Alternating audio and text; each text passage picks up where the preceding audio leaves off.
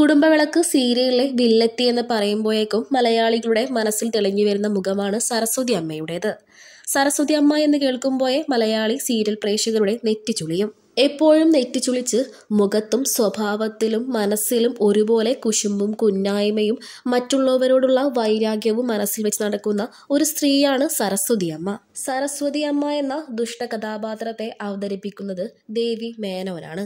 ഈ സരസ്വതി അമ്മയും ദേവി മേനോനും സ്വഭാവത്തിൽ യഥാർത്ഥ ജീവിതത്തിൽ ഒരു ബന്ധവുമില്ല. കുടുംബവിളക്ക് സീരിയലിലെ സരസ്വതി അമ്മ എന്ന് കേൾക്കുമ്പോഴേ മുഖത്ത് വാരിക്കോരി മേക്കപ്പിട്ട് നെറ്റിയിൽ അധികം സിന്ദൂരവും ഇട്ട് സാരിയും ചുറ്റി ആഭരണങ്ങൾ ധരിച്ചു നിൽക്കുന്ന സരസ്വതി അമ്മയുടെ മുഖമായിരിക്കും മലയാളികളുടെ മനസ്സിലേക്ക് തെളിഞ്ഞു വരുന്നത്. എന്നാൽ സീരിയലിലെ സരസ്വതി അമ്മയിൽ നിന്നും ഏറെ വ്യത്യാസമുണ്ട് യഥാർത്ഥ ജീവിതത്തിലെ ദേവി മേനോന്. നാട്ടിൻ പുറത്ത് താമസിക്കുന്ന സരസ്വതി അമ്മയല്ല യഥാർത്ഥ ജീവിതത്തിൽ ദേവി മേനോൻ. ബാംഗ്ലൂരിൽ ജനിച്ചു വളർന്ന ദേവി മേനോന് സാരിയേക്കാൾ ഏറെ ഇഷ്ടവും കംഫോർട്ടും ജീൻസും ടോപ്പും ഒക്കെയാണ്. എന്നാൽ തന്റെ കഥാപാത്രം യഥാർത്ഥ ജീവിതത്തിൽ നിന്നും ഏറെ വ്യത്യാസമുള്ളതാണ്. അതുകൊണ്ട് തന്നെ സാരിയൊക്കെ ധരിക്കുന്നതിൽ എനിക്ക് യാതൊരു പരാതിയുമില്ല എന്ന് ദേവി മേനോൻ തന്നെ മുമ്പൊരിക്കൽ പറഞ്ഞിരുന്നു. വിവാഹത്തിന് ശേഷം ഭർത്താവിന്റെ കൂടെ ബാംഗ്ലൂരിലേക്ക് താമസം മാറ്റി.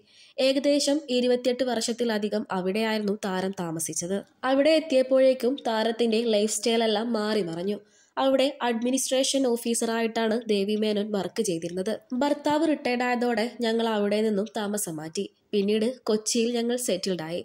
ഞങ്ങൾക്ക് രണ്ട് മക്കളാണ്. രണ്ട് ആൺമക്കളാണ് ദേവി മേനോന്. ഐ ടി എഞ്ചിനീയേഴ്സാണ് രണ്ടുപേരും എട്ട് സിനിമകളിലും പതിമൂന്ന് സീരിയലുകളിലും താരം അഭിനയിച്ചിട്ടുണ്ട്. കുടുംബവിളക്ക് സീരിയലിലാണ് താരം ആദ്യമായി വില്ലത്തിയായി എത്തിയത്. നിരവധി സിനിമകളിലും സീരിയലിലും അഭിനയിച്ചിട്ടുണ്ടെങ്കിലും കുടുംബവിളക്ക് സീരിയലിലെ സരസ്വതിയമ്മയായിട്ടാണ് എന്നെ എല്ലാവരും കാണുന്നത്.